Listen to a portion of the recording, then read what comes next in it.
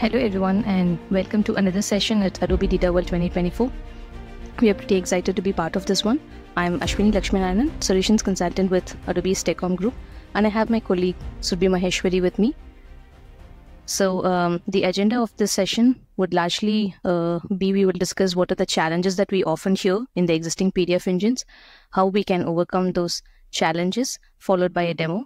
And um, since this le- uh, session, which uh, would largely cover the advanced level topics of the AEM Guides native PDF engine, so at the end of this session, we will also share some resources that one can utilize to navigate from basics to advanced level. Uh, challenges that we often hear with um, traditional methods of PDF generation are uh, the PDF engines are not cloud compatible or they are not scalable. Um, they often come with uh, high recurring costs. Though the DITA OT is free, uh, the customization for the for the customizations it would uh, require developer intervention and the experts. Uh, for the uh, experts with XSLT or XSL-FO uh, expertise, they are rare, and all of this would again be a time-consuming and cost-intensive process. So, for the next 30 minutes, we are here to talk and show you the art and science of PDF styling to build your PDF style sheets like a pro. So we will explore how to leverage um, this game-changing DITA to PDF engine for your business, focusing on the advanced capabilities of the uh, cloud-based PDF publishing engine integrated into the Adobe Experience Manager guides. Style sheet driven publishing. So there are um, there are numerous pros and cons associated with style sheet driven publishing. It ensures uh, uh, uniform formatting across all the documents and it offers extensive customization options for uh, uh for tailoring the pdf output to specific needs. However uh, implementing those style sheet driven publishing also requires uh, familiarity with css or other style sheet languages. As these changes need to be uh, incorporated either in the templates or uh, in the custom plugins. So all of this would often require developer intervention. Additionally integrating those style sheets into the existing workflows or cms can present uh, its own set of challenges basically. So how does uh, AEM Guide's native PDF publishing engine differ from other traditional publishing mechanisms is that it is already integrated in the AEM Guides. So you can build both the content of your PDF documents and also add your styling in the same tool. So um, to style the content that goes in your PDF document on a on a high level, it's a two-step process basically. The first one is the page layout where you would determine the structural uh, elements of the document. For example, if I need to add a front cover, I want my PDF to have a front cover, back cover, a separate page for to list out the figures, to list out my tables, and here and there some blank pages, and uh, and also I have to define the sequence of how it gets laid out in my document. So all of these would go inside the page layout, and similarly. Um, for the content uh, i have to define how my content should look like right? For example uh, the font color uh, the styling and how my uh, cross references should look like etc can be defined in this content layout.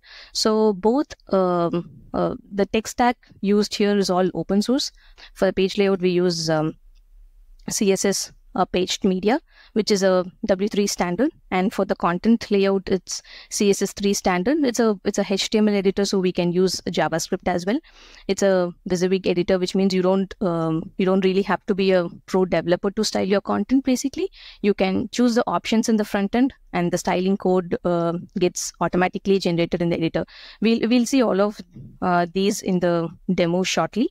Um, and of course, if you're an expert user, you can also define the CSS directly in the source view uh, to have more uh, granular control of the code. So, um, speaking of the benefits of AEM Guide's uh, native PDF engine, uh, it is more agile because because we have modularized in a way that you can easily create and customize the templates with the Wysiwyg editor and publish the content as and when it is ready. So, um, so that way your content goes to the market or reaches the intended audience more quickly. It, it, it supports the common languages like um, CSS, HTML, and JavaScript, whereas you need uh, specialized skills like XSL-FO, XSLT for DITA OT, and so is the performance comparatively when you are publishing uh, large sets of document. It has um, um, uh, built-in features, built-in security features that allows you to uh, password protect the document, enable the usage restrictions, and etc. You can apply. Um, uh, we have something called baselines uh, in uh, which is a guide zone capability. So you can apply those conditions to your content through this capability to streamline your pdf publishing right? And uh, this engine also supports different color space conversions like rgb cmyk and the conformance uh, standards ensuring that all your documents are always uh, you know compliant. And it also uh, supports the DITA constructs and the schema. So largely these are all the benefits of aem guides native PDF uh, engine. So, uh, so so far whatever we have spoken is all the fundamental or the foundational information that we wanted to share before we start off with the um, advanced PDF customization techniques, right? So um, today largely we will focus on these areas like working with content elements um, we can add cross references to tables headings paragraphs and how it goes in the PDF. We can add a footnote, add styling to your footnote, um, uh, some template level settings. For example, um, if I have uh, metadata in my AEM assets, or if I have my metadata in the DITA content, we can add those, we can combine those into my PDF output. We can see that and um, uh, usage of variables in the cross references. We have um, um, newly added variables in the engine, so you can leverage those variables in your cross references notes. You can customize your page size formatting for publishing to different sizes. Um, rule based manipulations like if you want to auto number the tables figures uh, if you want to customize the way the watermark has to be added to your document uh, based on the document state probably. So all that can be done. We'll show that. And uh, troubleshooting. So end of the day when you encounter any issues uh, with publishing we'll show you how uh, troubleshooting with template HTML because when we generate there is something called intermediate um, HTML that gets generated. So when you enable that in the settings it gets downloaded uh, when you publish um, when you publish you can click on that uh, icon to download the intermediate html and from that you can troubleshoot uh, to understand what what has gone wrong right so that will show you and um, different page display settings that's available um, uh, in the engine that we can show you and we will also talk about um, the recent developments in the in the PDF engine, like page grouping options.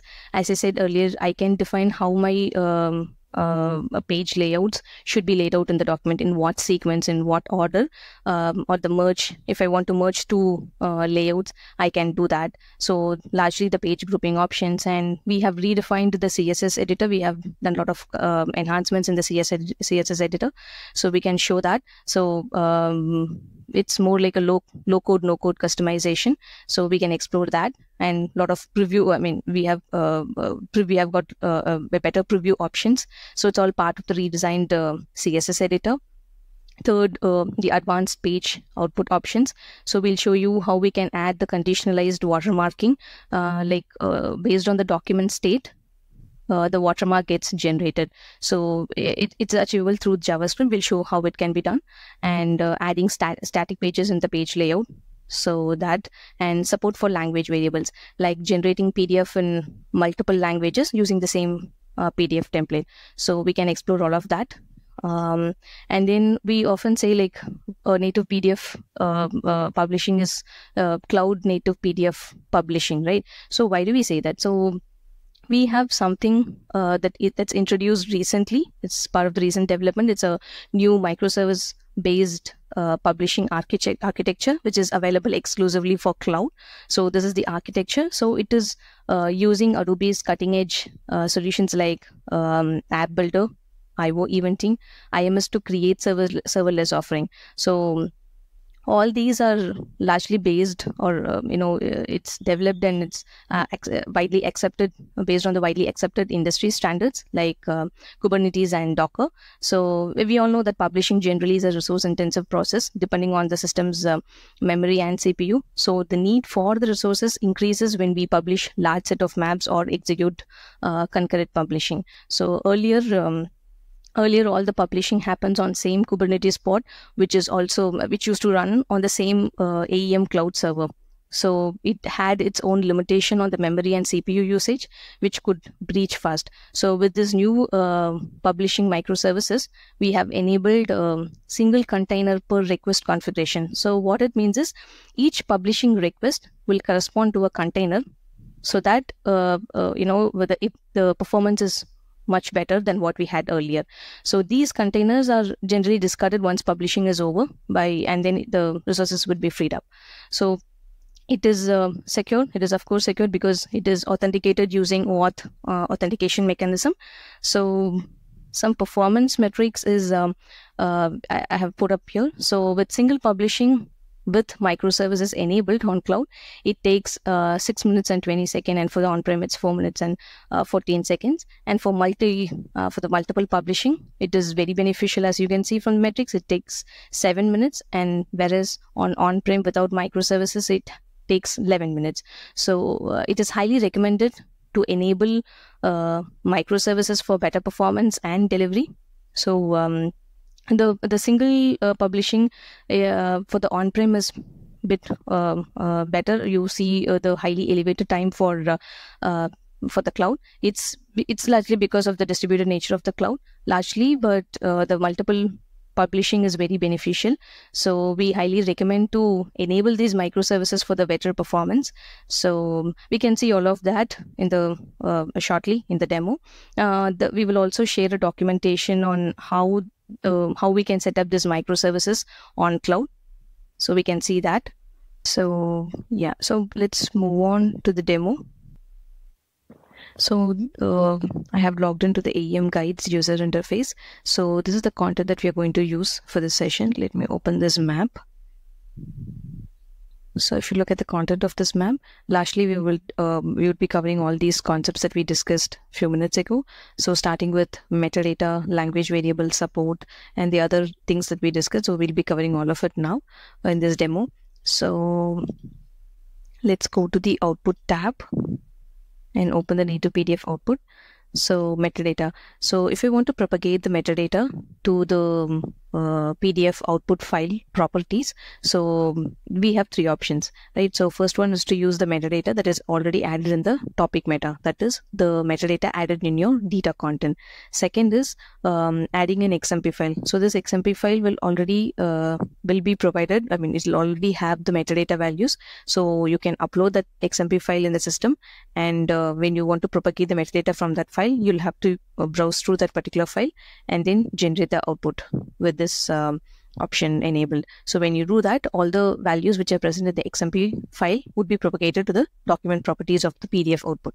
Right. Third option is providing the metadata names and values. So when you do, uh, when you add all these um, metadata value uh, uh, values here, so these values, these DC creator, DC rights, so these are the expression that it will automatically map to the um, JCR property of the AEM uh, in the AEM system. So it will pick the metadata value from the AEM asset metadata and then propagate it to the document properties. Right. So let's see an example. So as I said, the topic meta, topic meta is the DITA content. So I have added in my content uh, the author of this particular guide. So if I go here and generate a uh, PDF. So the document properties will contain uh, the author name that I have already added in the content, right? So if I generate here, while it gets generated, I have a similar uh, PDF output that got generated. So if I look at the document properties, it would have this author name, uh, which I have added in the DITA content. Similarly, uh, if I have to add the metadata from XMP file, you, we can try that as well. Similarly, for uh, uh, for the metadata that we provide from the AEM's metadata met, uh, asset metadata properties, if I generate, then the um, PDF output would look like this. It will carry all the values that I have um, uh, pushed from the AEM system. So it contains both these names.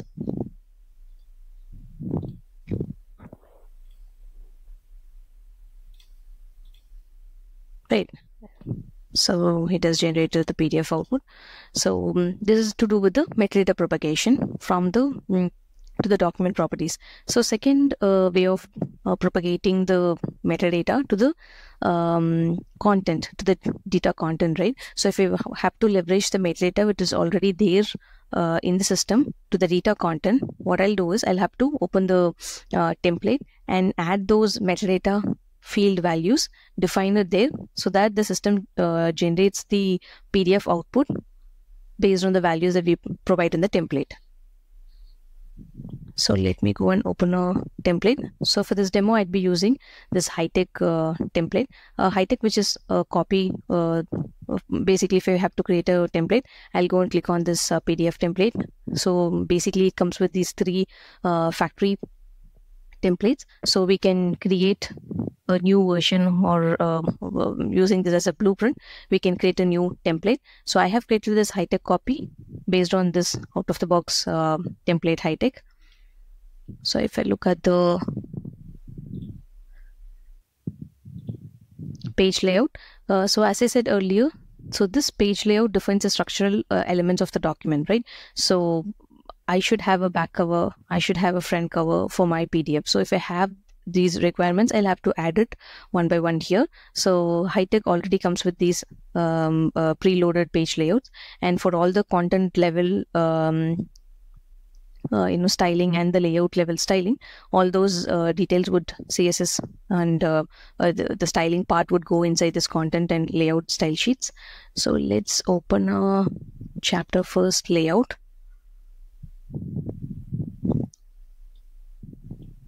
so here I have added um, author field. So this field, how I have added this, this is a metadata field. So I'll have to click here, add the fields and in the metadata, I have added this author. So when I click on the properties, so it gets generated from the map. So whatever uh, author value that I have added in my map would be uh, through this XPath expression, it would get added. It would get added here. So similarly, you can add uh, as many metadata properties that is available in your topic meta to the PDF template here. And then when the system generates a PDF output, the values get mapped and then the PDF output will have the final uh, uh, final content with the metadata values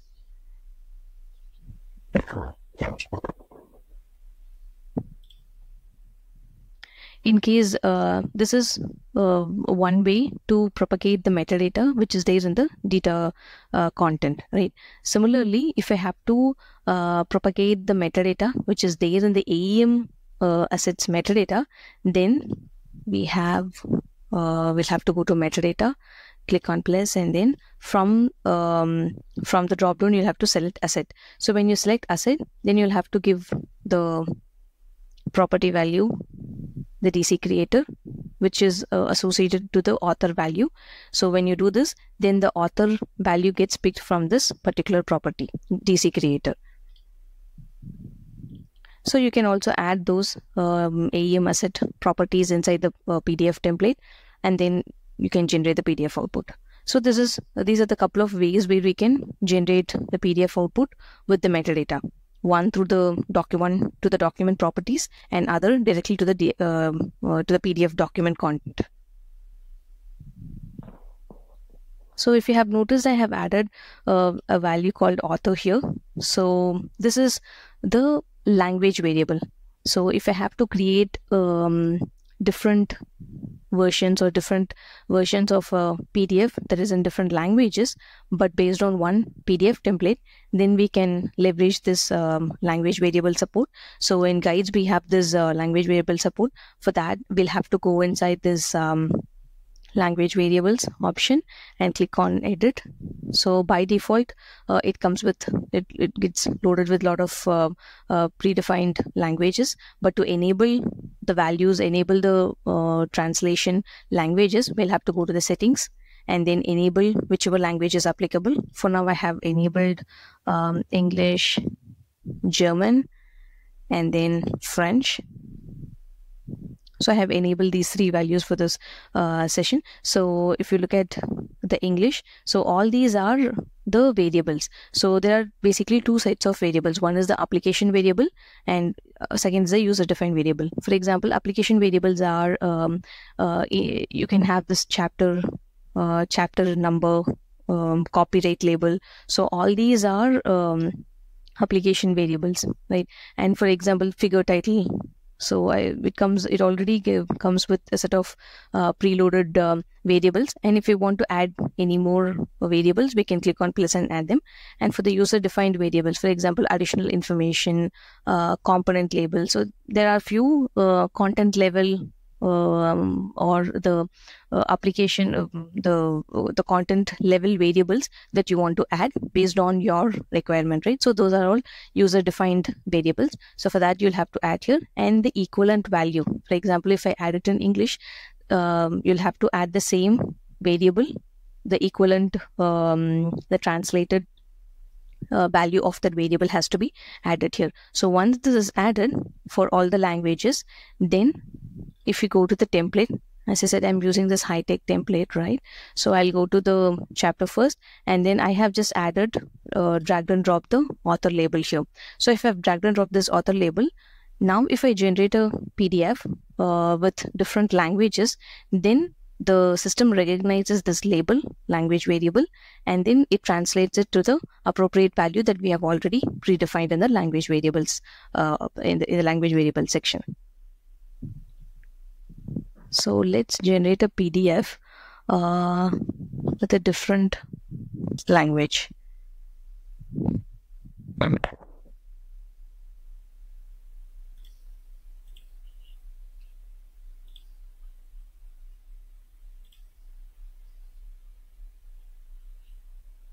while it gets generated i have already the pdf which is generated for a language which is set to german right so if you look at the um,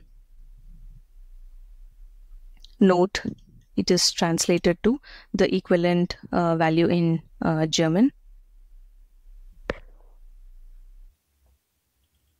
So uh, all these values would be picked by the system and gets uh, uh, gets into the PDF output. Now let's see the French equivalent of that of the values that we have defined here. Right. So um, this way you can, um, you know, you can use these language variables to have the localized version of your um, of your content basically. So there's one more um, feature called variables.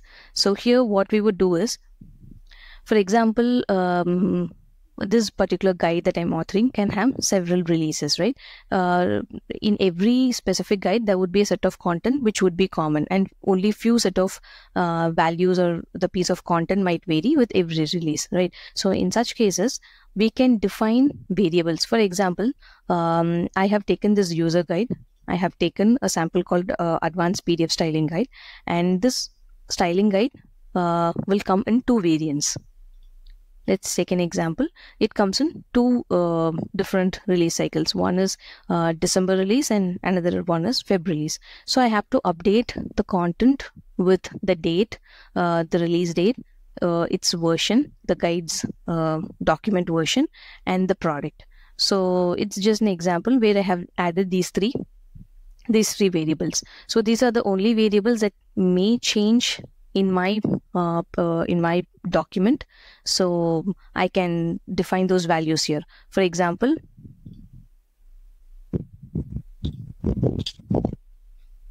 yeah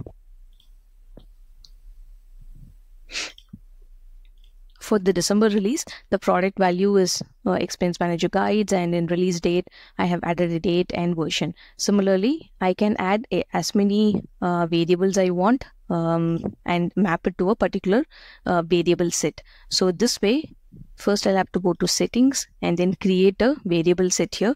For example, I can add a new release now.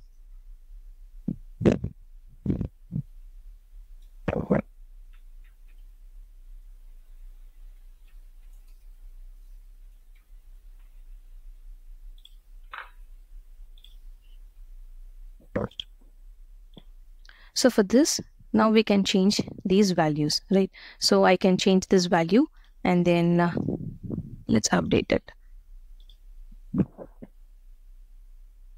Now I have changed the variables. Now I have three variable sets. So now if I go back to my uh, PDF output preset, I have an option um, to choose the variable set I want to. For example, if I use this December release cycle, then the variables and the associated values applicable for this December release would get appended in my PDF document, right? For example, the previous version of the PDF that got generated had this um, December release and when it got um, um, uh, released, the version details, all of that has been added with this variable set, right? Now let's um, publish with April release cycle variable set.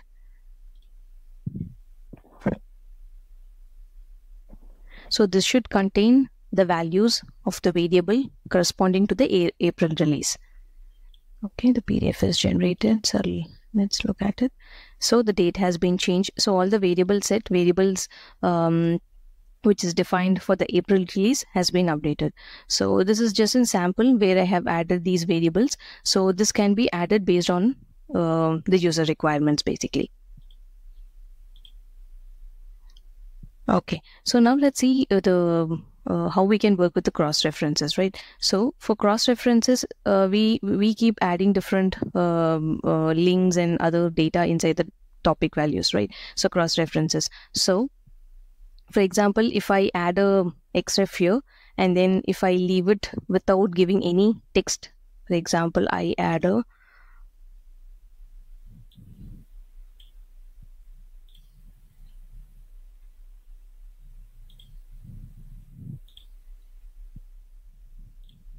So here I would have to give any content reference, right? So now I would give this. Now, if you have noticed, I haven't given any text value there. So if I don't give any text value, by default, it will pick the title of the um, title of that particular file. In case if I have already given a, a, a, description or the text value when I have chosen a particular content reference, then the description gets loaded for that particular uh, particular xref value. So the order of this precedence, I mean the the cross references. First one, it will pick from the link text that is added in the cross reference. Second, it would go for the cross reference format that is defined in the native uh, PDF template. And third one would be with the default cross reference format. So based on this precedence, the value gets added in the cross references basically. If you look at the PDF generated PDF, um, probably we can look at the cross references section. So this is how the uh, the cross references um, value gets generated. So if I have added a language variable support topic inside my um, as an xref in this particular document then it would show see um, the particular value of that particular uh, topic title value of the particular topic on whichever, whichever page it has been added Similarly, if I have to reference a particular table, I have referenced a table here, data world. So the value of this particular table, or uh, the description or the title of this particular table has been added in the has been added in this format. This uh, this uh, this word uh, whatever we define it here these are all highly customizable you can define it here in the template settings basically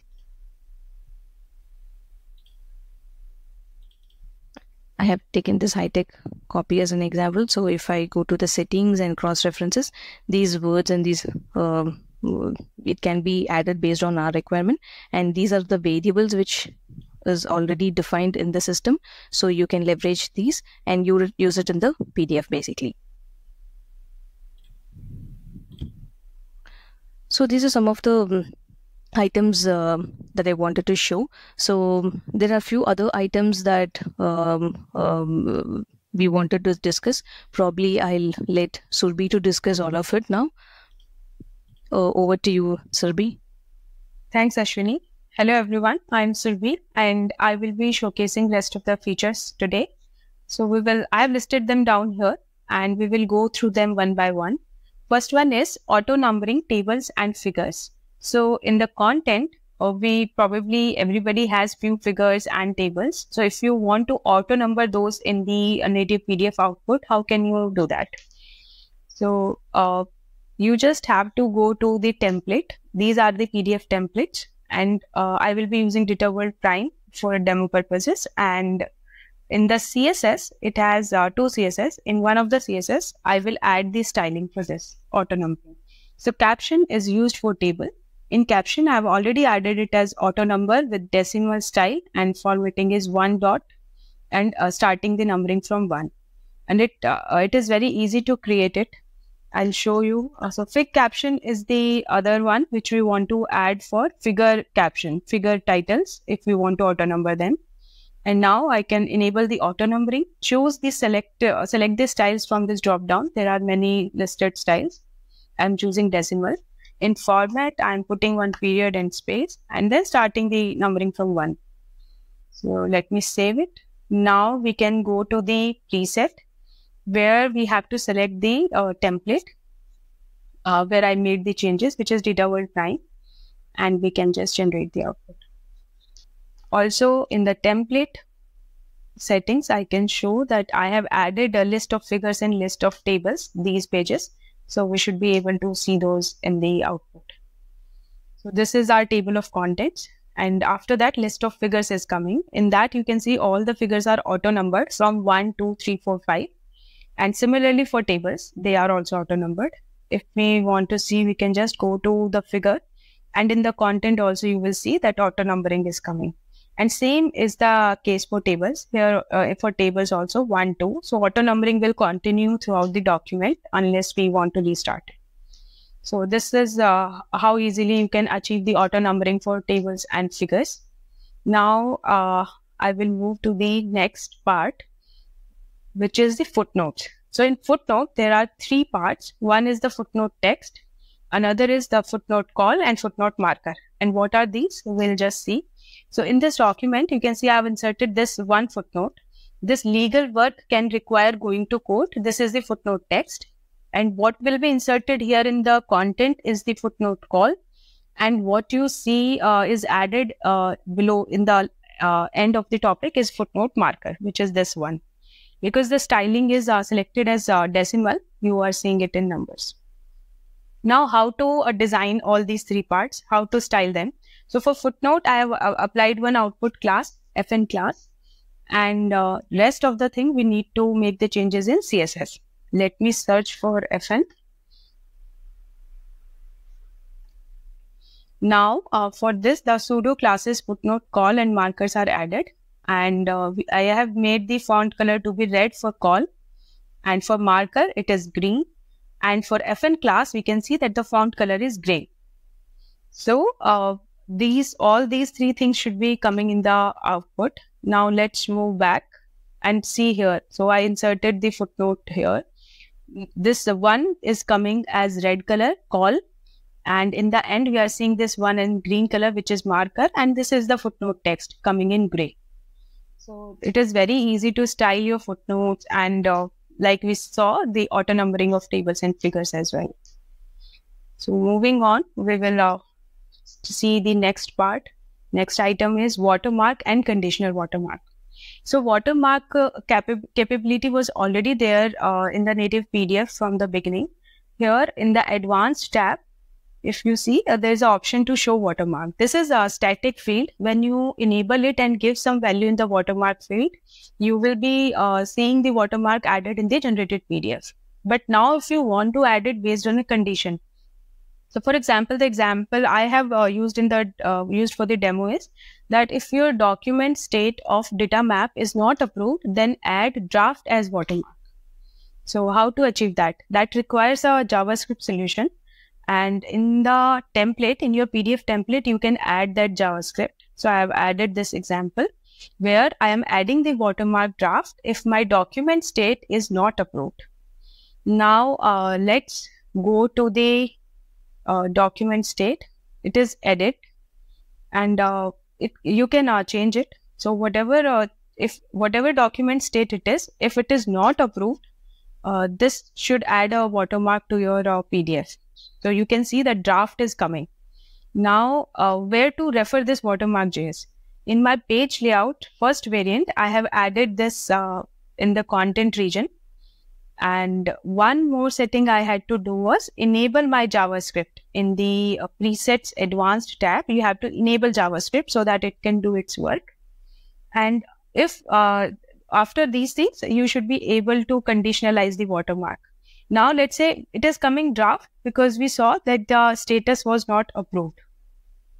But uh, let's say if I say it, uh, status is not edit, I can just uh, change my uh, JS and say that the status, if it is not edit, then only add. Now, if I generate the PDF again,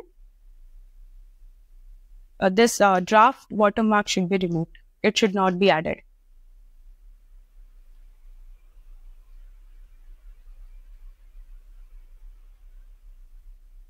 So now you can see a watermark is not there. So this is how you can conditionalize the watermark based on your need uh, with a JavaScript solution. Next, moving on is add static pages using page layout. So here, what is the use case? Use case is, let's say here I can say that after my table of contents, list of figures and list of tables, or after these three pages, my chapter is starting, right? So what I want is that between these two, uh, some, uh, let's say one empty page should come or one page with a image should come, which is static content, but it should come after table of list of tables and but before our chapters. So what I can do for this is I have to go to my template settings. So here you are seeing, uh, let me just make it none. I will explain these options as well. And uh, what we will do is we will create one new page layout. We will call it static page. Now, let's say I just uh, want to add one image here.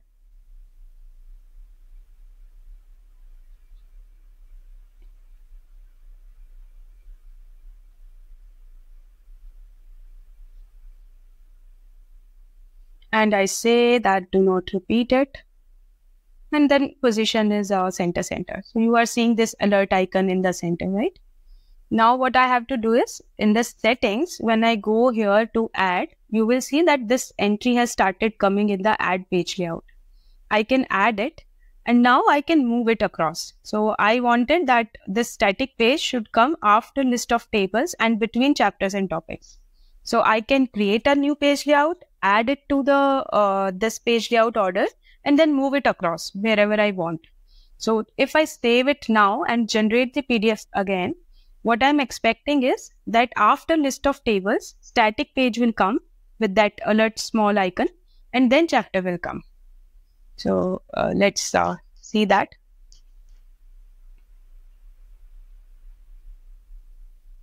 So this is our table of contents, list of figures, list of tables. And now that static page has started coming with uh, this image. And now after that chapter starts. So this is a very useful feature if you just want to reorganize your content, sections of your content and uh, add some pages in between. So that, that is the purpose and use case for this feature. Now uh, let's move on to the next. So next is uh, re regarding uh, re related to this earlier one only that how to order and merge your pages. So let's go back and see. So we were able to see that how I placed the static page between list of tables and chapters and topics. So you can rearrange anything here, right? So I'm removing the static page as of now. Now let's understand what this merge with setting is. So what it means is, as of now, if you see uh, after list of tables, there is a lot of empty space. Now, if I want my topic to start, chapter to start from this page itself, what I can do is I can merge this list of uh, tables with my next page. Next page is chapters and topics. So chapters will start from that page itself. So there are three options, previous page, next page and none. So by default for everything it is none and now I am choosing next page for uh, and uh, let us generate the PDF. I will uh, keep the uh, template settings open so that you have the idea that after list of tables on that same page chapter should start. List of tables and chapter started uh, running from here. Earlier it was uh, starting from next page. So that is how you can utilize this merge with feature. Now uh, we will move back to uh, the list, which is next is redesigned CSS editor, no code, no code. So the concept here is that you should not be a CSS expert to be able to use uh, this editor. Here in the left panel, we are showing all the styles and in the center, you will see that what all style is applied. So font size is 24, let's say. For heading to it is 20 point. And on the right side, you can see as I'm moving, preview is changing. So it is uh, showing the runtime preview. So if I change the font color here to green, automatically it will start showing you green. So you have a better view that what you are changing and how it will look. It will show you the preview. Also, this is new that we have added the properties and values here. So if you know any property name, you don't know, uh, you don't need to search here. You can just directly add it, uh, the add the name and value. So this is a very user-friendly, intuitive way to uh, style your CSS without being a code expert for CSS. So that is the concept of low code, no code uh, CSS editor. Next, uh, last but not the least, the part is that how to troubleshoot. So when you style so many things, there is a chance that what you thought maybe some uh, style, particular style on note or any other element should come, but in the output, you are not seeing that. So what do you do now? So one good way to troubleshoot here is that in the native PDF, in the advanced tab, you will find one option, download temporary files. So if you enable this and generate, this button comes up, download temporary files. So what happens is when you download this folder, you will find few CSS files and one merged HTML file. So this is the merged HTML file which I am opening in the browser now. So here uh, you will see a lot of styles being applied right here. Few things happen after this, but like you can see that auto numbering is already coming here. What you can do is you can inspect and see the DOM and for everything you can see that what class is applied for every element in the DOM what is the class and what is the css that you can see on the right. Okay? So if you want to just see that okay why this uh, one figure this caption is coming. So you know that the auto numbering is coming from this big caption which we added. Now it is visible on the right side uh, in the console so this is how you can debug that what I applied versus what I am getting. If there is a difference, what is happening in the merge HTML? Because this is uh, something which is the base for creating PDF. So first we, from DITA topics, we generate the HTML, apply all the styling, and then we do the uh, conversion to PDF. So if here, uh, it, coming here will give you some idea if something is not going right. And uh, next thing is that you, as I applied the watermark JS, right? So that script is also coming.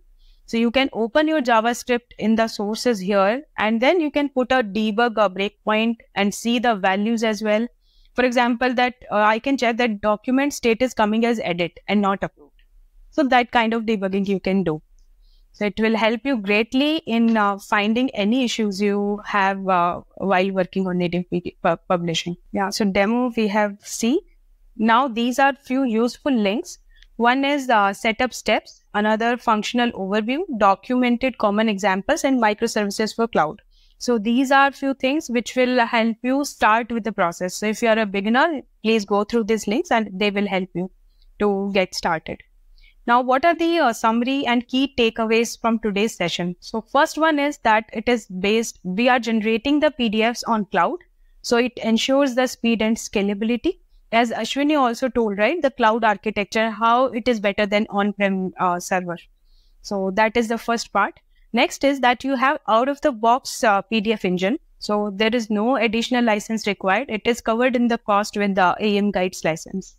Next uh, part is standard based. So it is uh, no, there is no, I mean, uh, proprietary standard here. Everything is open source, CSS3, HTML5, JavaScript. So if you work with this, it will be easier to go ahead.